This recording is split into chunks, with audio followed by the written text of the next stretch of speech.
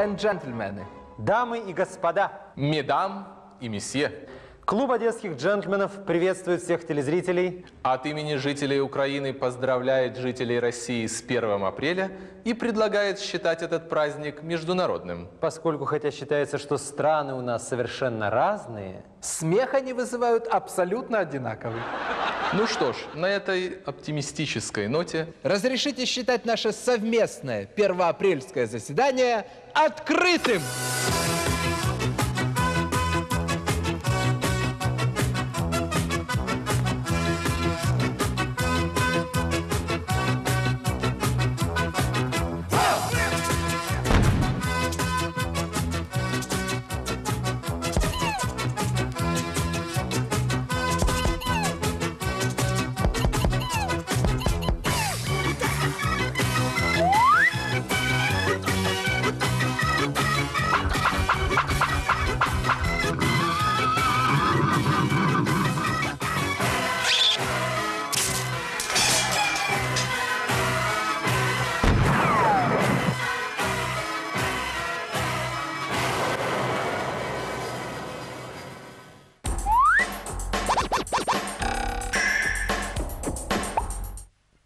One moment, please. Здравствуйте, дорогие телезрители! В эфире наш очередной первоапрельский выпуск «Джентльмен Шоу». Собственно, что это я? Сегодня 1 апреля, и вы мне все равно не поверите. Ну что ж, попробуем сказать иначе. В эфире очередной первоапрельский выпуск «Маски Шоу». Впрочем, сегодня вы и в это не поверите. Так что у меня нет другого выхода. Хотите верьте, хотите нет. А в эфире наш совместный первоапрельский выпуск «Джентльмен and Маски Шоу». Что, опять?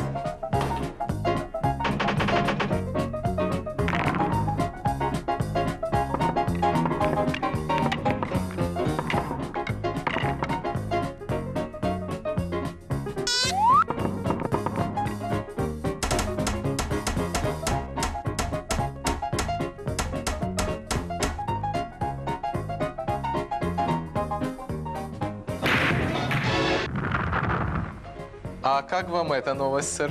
Некоторые депутаты Государственной Думы считают объявленную амнистию главным условием национального примирения в стране. Странно, сэр. По-моему, для мира и согласия в России всегда были необходимы как минимум два условия. Какие же? Первое – выпустить тех, кто сидел. Второе – посадить тех, кто выпустил. э, вы обратили внимание, джентльмены, раньше у Александра Рудского были только усы, а в Лефортово он завел себе еще и бороду. Как вы думаете, почему? Ну, видимо, потому, сэр, чтобы уже полностью соответствовать образу народного героя. Что вы имеете в виду? Ну как, вспомните. Ведь все народные герои, которые в трудную минуту приходили на помощь земле русской, как правило, были с бородой. Илья Муромец, Добрыня Никитич, Карл Маркс, Фридрих Энгельс.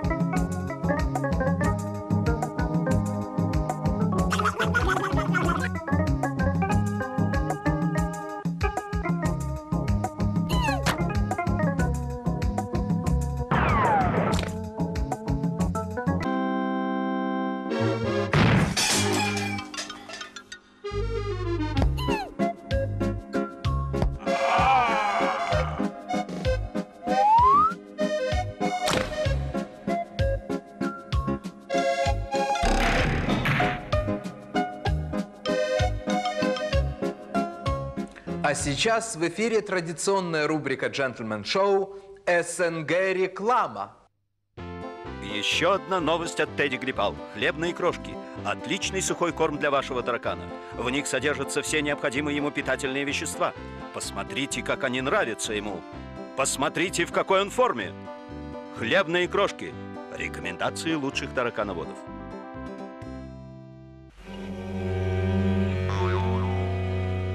Шел прораб со своими рабочими на войну с бездорожьем. везли они камни. И была дорога, и был ее ремонт. Но потом был обед, и выпили рабочие, и упали камнем, и остался прораб. И поднимал он эти камни и разговаривал с ними. Россия. Вечная история. Ремонт дороги. Продолжаем нашу первоапрельскую передачу. И поскольку мы с вами договорились, что вы сегодня не верите ни единому моему слову, я передаю слово комик трупе маски. Да, друзья, маски, хотя это им не свойственно, в последнее время заговорили. Причем заговорили стихами. И что самое удивительное, своими собственными.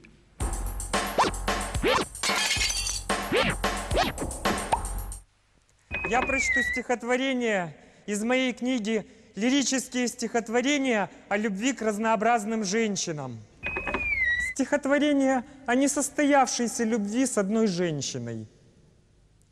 Вы лежали в гамаке с сигаретой в руке и невольно искривляли тело где-то в позвонке. Вы лежали у реки, не близки, недалеки, и губами выдували слюни, словно пузырьки. Я хотел быть ветерком, я хотел быть гамаком, грудь вам лапками царапать легкокрылым мотыльком. Я хотел бы быть рекой, гладить вас своей рукой, гладить волосы и тело, вот я ласковый какой. Я хотел быть мотыльком, я хотел быть ветерком, только нахрен вы мне сдались с искривленным позвонком. Перелистните меня, пожалуйста. Стихотворение «Фантазия». Я сижу с бокалом в баре, и безумно скучно мне. Я мечтаю о пожаре и о девушке в окне, как ее с собой рискуя, я спасаю из огня, и как нежно поцелует, скажет «на, возьми меня». Я возьму дрожащий нервно, год пройдет, и вот итог. Думаю, что эту стерву я б собственноручно сжег.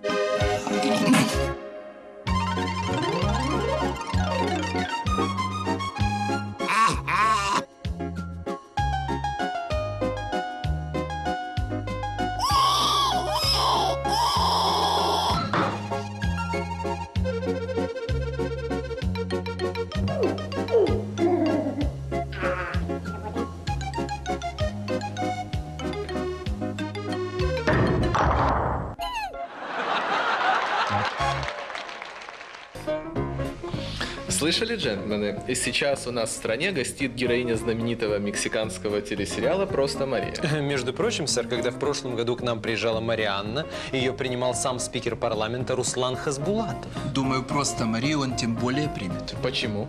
Потому что сейчас он просто Хасбулатов. Невероятная новость, джентльмены.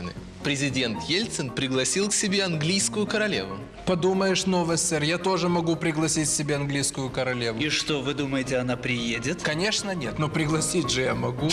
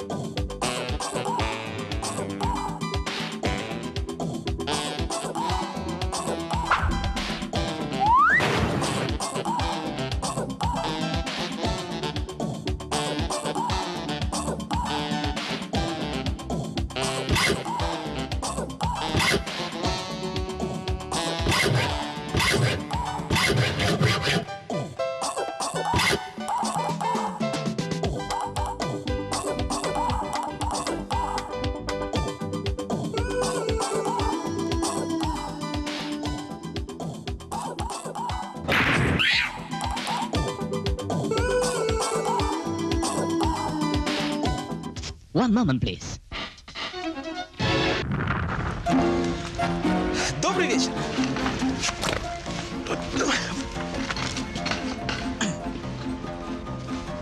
Извините, Как вы уже догадались, в эфире первоапрельский выпуск «Одесских итогов». Начнем его с нашего традиционного социологического опроса.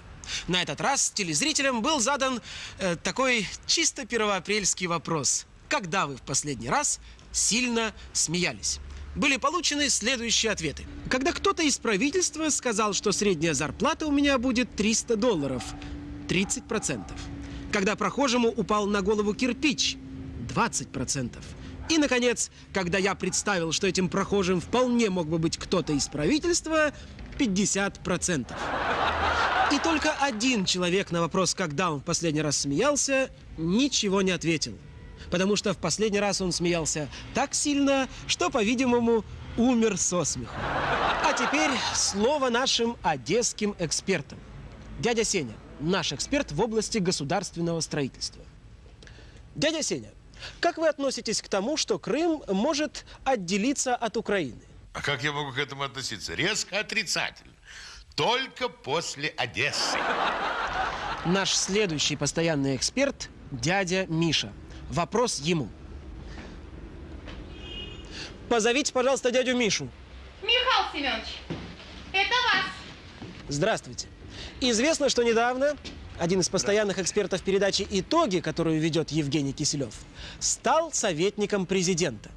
Дядя Миша, а вот если бы президент решил сделать вас своим советником, что бы вы посоветовали ему предпринять в первую очередь? Я бы ему посоветовал в первую очередь помочь мне разъехаться с соседями по коммунальной квартире. Иначе от этих советников не только мне, но и ему покоя не будет. И, наконец, дядя Боря, наш специалист в области юриспруденции. Дядя Боря, извините, дядя Боря, дядя Боря! Что вы кричите, молодой О, человек? Что вы кричите? Здравствуйте. Здравствуйте. Дядя Боря, как известно, сегодня украинская экономика переживает глубокий кризис. Да. Как вы думаете, сможет ли в этой ситуации Леонид Кравчук остаться президентом на второй срок? Ну что вы? У нас второй срок по одному и тому же делу не дают. Спасибо большое. Спасибо, дядя Боря. И э, с 1 апреля вас. И вас так. До свидания. Извините. Да. Только что мы получили актуальный репортаж из штаб-квартиры стран СНГ. Сегодня здесь собрались представители России, Украины и Казахстана для распределения западной финансовой помощи.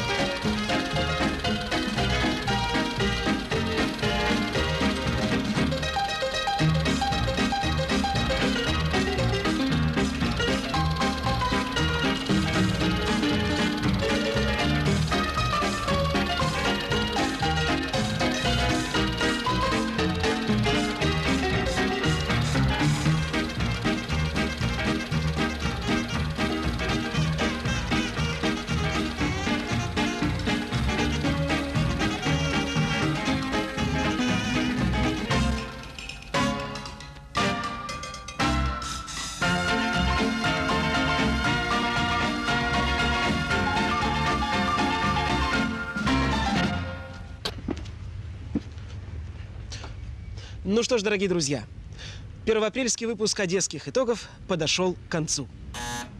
Извините. Только что получено экстренное сообщение и, кстати, на волнующую всех тему. Министерство здравоохранения России сообщает.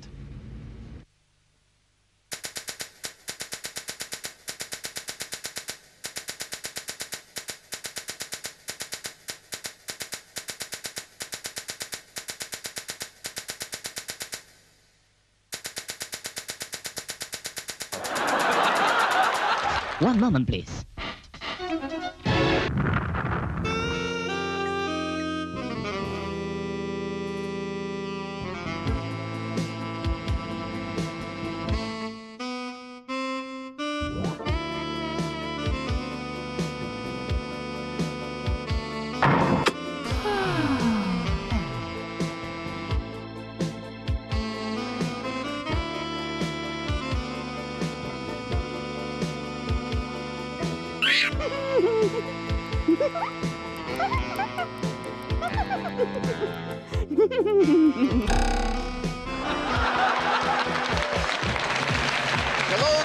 Несмотря на 1 апреля, с вами действительно опять я, Олег Филимонов. А значит, лучшая на этот раз 1 апрельская десятка анекдотов. На десятом месте житель Одессы с анекдотом. Покупала как-то тетя Сима мебель, а продавщица ее спрашивает, зачем вам такой большой шкаф? У вас что, потолки высокие? Да нет, сосед. На девятом месте сторож музея КГБ с анекдотом. Решил как-то на 1 апреля Штирлиц Мюллера разыграть. И говорит, а знаете, группенфюрер, что я русский шпион? Да нет, не знаю. Разыграл в свою очередь Мюллер Штирлица. Ап, то есть хай. На восьмом месте собаковод-любитель Герасим. С рекомендацией лучшим собаководам, что нужно делать, если не хватает денег на педигриппал. Пульк. На седьмом месте представитель сексуальных меньшинств с анекдотом. Узнала как-то старуха Шепокля, что крокодил Гена нежно любит чебурашку и удивилась. Смотри-ка, говорил, что зеленый. На шестом месте директор школы с анекдотом. Решил как-то на 1 апреля Вовочка разыграть учительницу. И говорит ей во время урока. Марья Ивановна, у вас вся спина белая.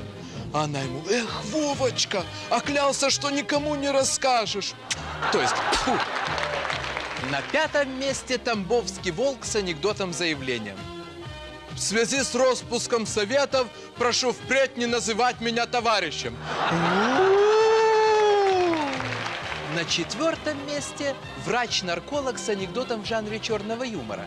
О том, как одного токсикомана после банки дихлофоса никак не могли похоронить.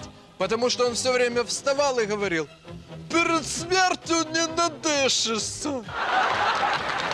На третьем месте Василий Иванович с философским анекдотом о том, что войти в одну и ту же реку дважды может быть и можно, а вот выйти из нее даже одного раза не получается. На втором месте бывший сотрудник ЦК КПСС с анекдотом. Решил как-то Леонид Ильич на 1 апреля Черненку разыграть. И говорит, «Здравствуйте, товарищ Суслов!» А тот ему, «Так Суслов же помер!» «Тогда, товарищ Суслов, до свидания!» Ну и, наконец, кто же на первом месте? Это... Так, освободите, пожалуйста, место. Что, первое? Неважно, какое, главное, чтобы место было побольше. Зачем? Потому что сейчас будет наша первоапрельская десятка гэгов Маски-шоу!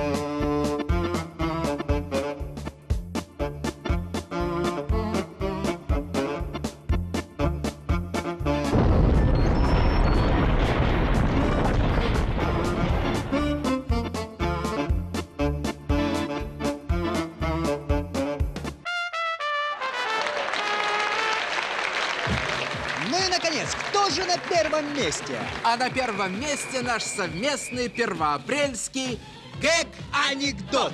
Итак, представьте себе Одесса, типичный продовольственный магазин. Спасибо за покупку, Любочка, заходите еще. Что вам, молодой человек?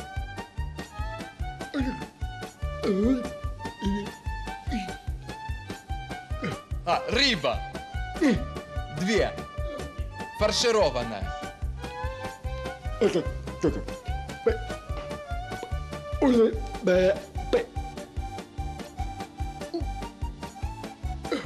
А, яйца. Два. Десятка. Куриные.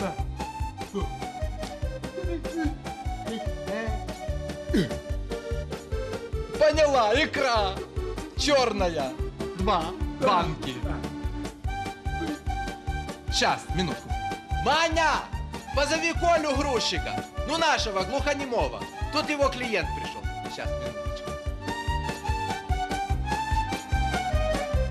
Коля, обслужите клиента.